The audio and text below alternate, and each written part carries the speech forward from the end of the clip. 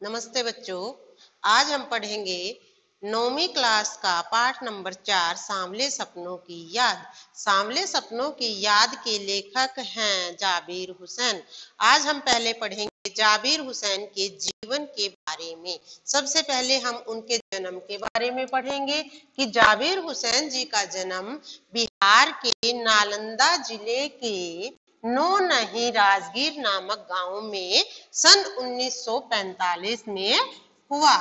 उन्होंने अपनी आरंभिक शिक्षा गाँव की पाठशाला से ही पूरी की और उन्होंने अपनी एमए की परीक्षा अंग्रेज़ी विषय में पास की। अब हम उनकी प्रमुख रचनाओं के बारे में पढ़ेंगे। उनकी प्रमुख रचनाएँ हैं, जो आगे है।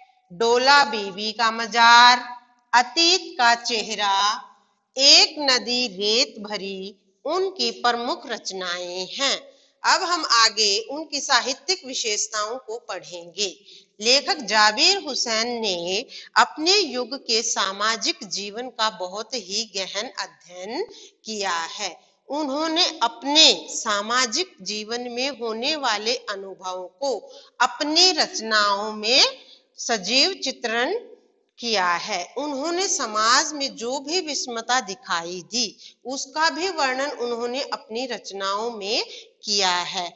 और समाज में एक आम आदमी के जीवन में जो संघर्ष आते हैं, उन संघर्षों को भी लेखक जाबिर हुसैन ने अपनी रचनाओं में लिखा है। अब हम पढ़ेंगे लेखक जाबिर हुसैन की भाषा शैली। कि लेखक जाबिर हुसैन की जो भाषा शैली थी, उसमें हिंदी, उर्दू और अंग्रेज़ी भाषा पर उनका समान अधिकार था।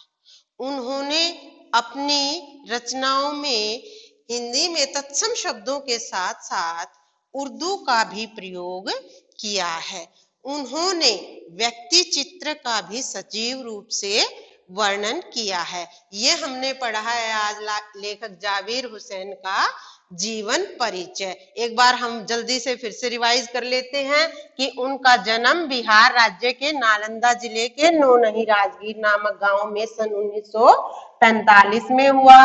उनकी शिक्षा में हम पढ़ेंगे कि उनकी आरंभिक शिक्षा गाँव की पाठशाला से ही पूरी की और उन्होंने एमए अंग्रेज़ी विषय में पास की। उनकी प्रमुख रचनाएँ कौन सी थी? जो आगे है, डोला बीवी का मजार, अतीत का चेहरा और एक नदी, रेत भरी उनकी प्रमुख रचनाएँ हैं। और उनकी साहित्यिक विशेषताओं में उन्होंने अपने युग के सामाजिक जीवन का अध्ययन किया है, अपने अनुभव को अपनी रचना के द्वारा बताया है और उन्होंने समाज की विषमताओं के वर्णन करने के साथ साथ एक आम आदमी के साथ जो जीवन में संघर्ष उत्पन्न होते हैं, उनका भी वर्णन किया है।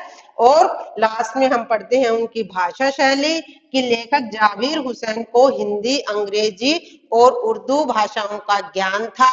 उनका उनके ऊपर समान अधिकार था। हिंदी भाषा में तत्सम शब्दों के साथ साथ उन्होंने उर्दू का भी प्रयोग किया है और व्यक्ति चित्र का सजीव वर्णन किया है। तो बच्चों, आज की क्लास में हमने किया है लेखक जाबिर हुसैन का जीवन परिचय। कल की क्लास में हम करेंगे सांवले सपनों की याद पाठ का अध्ययन।